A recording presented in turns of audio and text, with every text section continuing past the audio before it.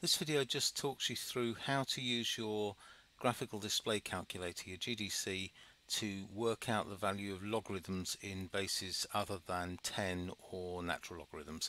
So from your uh, menu screen, you're going to choose menu 1, run matrix option, the normal standard calculating option. Um, and then in this screen, go down to the option button here and press that and you'll see along the bottom of the screen you get a long list of um, menu options. There's quite a lot of things on here. Um, we're going to use calc, but you can scroll along. There's a, quite a few hidden gems in, in amongst all of this. So we'll use calc F4. Um, the menu item we want isn't on this page, so we need to use F6 to scroll along and then choose F4, which is log base A of B. Uh, the template for that expression comes up on the screen. Um, I'm going to type in log base 2 of 8 because we know the answer to that so we can check it.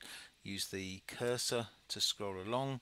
There's my log base 2 of 8 and having done that I can press the um, execute exe button, hit that and it comes up with 3 which we know is the right answer because 2 to the power 3 is 8.